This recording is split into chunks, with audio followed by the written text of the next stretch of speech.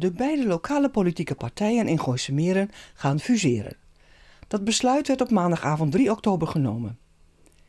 In de aanloop naar de gemeenteraadsverkiezingen in het voorjaar woedde er nog een flinke strijd tussen Hart voor Bussum na de Muiden en Muidenberg en het Goois Democratisch Platform.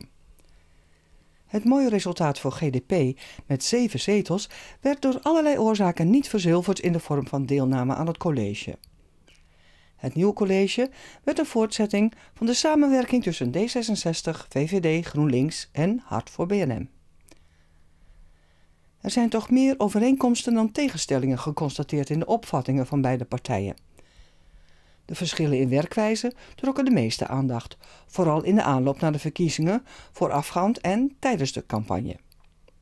Er moet nog veel nader worden uitgezocht, maar voorlopig heeft de coalitie dus zeven extra raadsleden in de achterban.